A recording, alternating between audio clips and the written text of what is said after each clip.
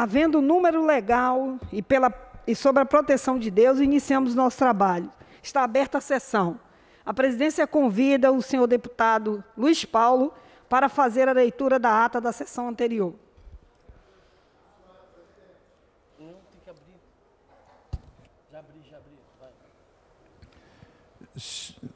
Senhora presidente, a ata reflete com exatidão o ocorrido na 55ª sessão ordinária, que iniciada às, 18, às 16 horas e 8 minutos, encerrou-se às 17 horas e 40 minutos.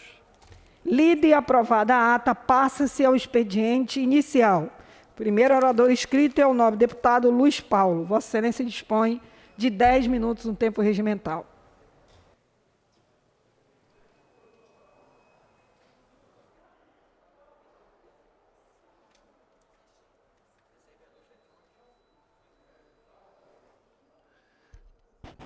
Senhora Presidente dos Trabalhos, deputada Tia Ju, senhoras e senhores deputados presentes no Parlamento, senhoras e senhores deputados presentes de forma remota. Há tempo, deputado Márcio Gualberto, que Vossa Excelência está aqui em plenário, mas não está vestido adequadamente, eu vou falar mal do Bolsonaro de Vossa Excelência, que Vossa Excelência não pode responder, pode ser? mas é apenas uma provocação. Eu queria iniciar, senhora presidente, com uma entrevista dada para mim, por um grande desconhecido, que é o ministro da Educação. O ministro da Educação veio a público e declarou: não sei se Vossa Excelência viu, a universidade deveria ser para poucos. Quem disse isso foi o ministro da Educação. Ora, era ele que deveria garantir o direito a todos terem acesso ao nível superior pelos seus próprios méritos. Isso tinha que ser uma obrigação dele lutar por uma educação de qualidade e que abrigasse todas as instâncias, desde o primeiro grau até a universidade.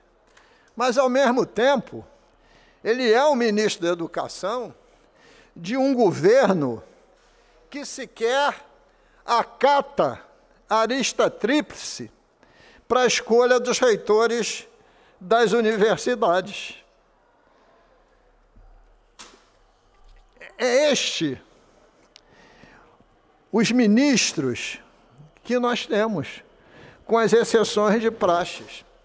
Me lembro bem, lá na saúde, quando estava o ministro especializado em logística, que entende tanto de logística quanto eu de pilotar avião, que é o Pazuello, que dizia o seguinte, que independente do que ele pensava,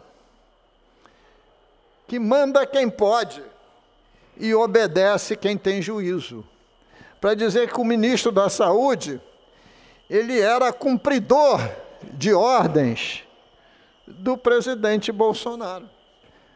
Ora, as coisas não são assim. As coisas não são assim. Se qualquer um de nós que estiver no parlamento, qualquer um de nós, conseguir dizer o nome de dez ministros desse governo que está lá em Brasília, eu devia dar de prêmio um chocolate. Pela inexpressividade do ministério. Não há praticamente o que dizer. O mais famoso de todos, evidentemente, é o neoliberal destruidor da nossa economia, que é o Paulo Guedes. E o que eu valo para o governo federal, eu também registro para o governo estadual. Claro que eu tenho obrigação de aqui saber nomes de muitos secretários. E sei, até porque fazemos audiências públicas constantemente. Hoje fiz mais uma, junto com a Comissão de Tributação, onde ouvimos o secretário Nelson Rocha sobre as questões específicas relativas ao acompanhamento dos incentivos fiscais. Mas, de outro lado, o governo Cláudio Castro virou uma máquina de criar secretarias supérfluas com motivações político-eleitorais. Vide a secretaria publicada no Diário Oficial de ontem, de atendimento aos vitimados, que retira do banco de cargos 40 cargos, aumentando a despesa, e claro que esses cargos terão encargos, e seguramente terão as respectivas indicações políticas para construir a sua base do governo. Deputada Tia Ju, eu não tenho o dom da profecia. Não tenho o dom da profecia. Até gostaria, mas não o tenho. Mas não fica difícil a gente fazer um prognóstico que essas eleições de 2022 foram devidamente antecipadas. Devidamente antecipadas e que daqui para frente, com essas antecipações, cada vez vai ficar mais difícil o governo Cláudio Castro sustentar no parlamento uma base de governo. Porque tem uma máxima, senhora deputada, que registra que quanto mais ele ceder ao desejo dos políticos por funções públicas, maior vai ser a divergência entre eles. E vai ter sempre um achando que o outro está melhor aquinhoado. Além do mais, a antecipação do processo eleitoral também antecipa as posições políticas.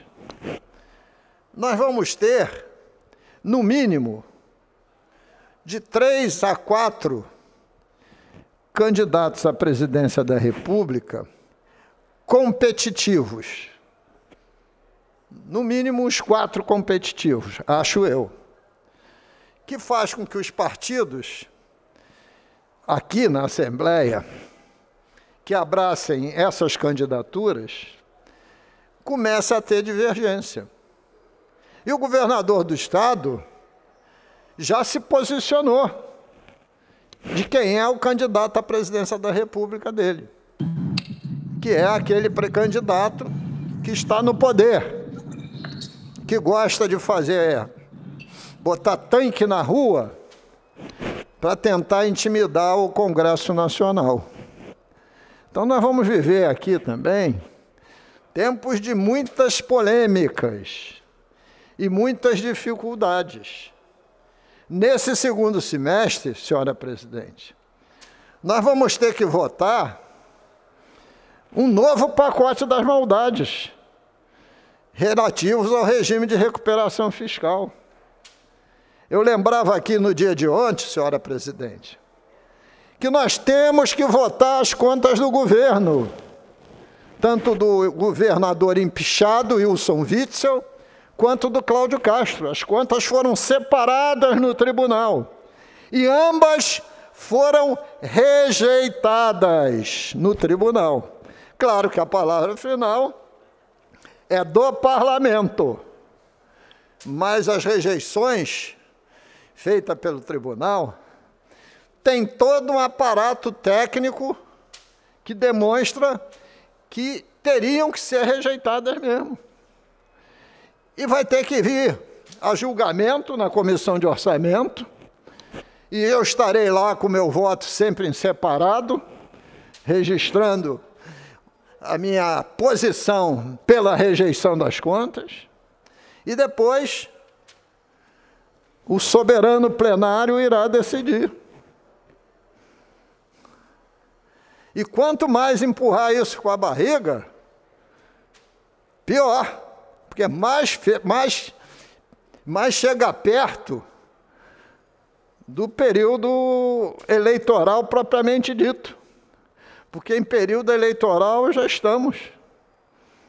Vide os temas que estão na pauta de, do dia de hoje. Né?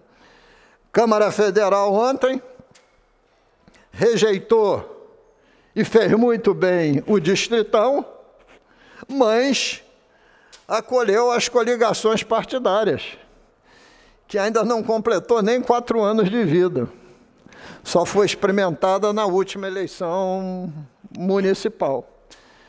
Hoje, provavelmente, voltará à pauta em segunda discussão. Quebra-se o interstício e volta à pauta. Mas ainda falta uma outra etapa, que é a do Senado Federal. São duas casas legislativas, duas votações, uma em cada casa legislativa. Isso tudo terá que estar decidido até o último dia útil de setembro, né? porque a lei diz que toda mudança de legislação eleitoral tem que estar concluída um ano antes da data do pleito. Não dito isso, senhora presidente, eu só estou querendo registrar que a política eleitoral vai começar a incendiar os parlamentos. E vai ser hora de cada um se posicionar. Da parte que me toca, não há problema nenhum. Eu reafirmo aqui que sou a favor das políticas públicas que seja boa para a população fluminense, que haja respeito ao funcionalismo público, que a nossa grande crise não é de despesa, é de receita. E que sempre me sinto confortável nesse parlamento, estando na oposição. Até outro dia brincava com, e me cotejava a antigos e até alguns tristes revolucionários mexicanos, que diziam: se havia governo, eles seriam contra. Que tem sido minha posição. Porque os governos têm sido tão débeis, quando não corruptos, que é muito preferível você estar sempre na oposição. Muito obrigado, senhora presidente. Não havendo mais oradores inscritos, a presidência suspende os trabalhos até às 15 horas. Quando retornaremos.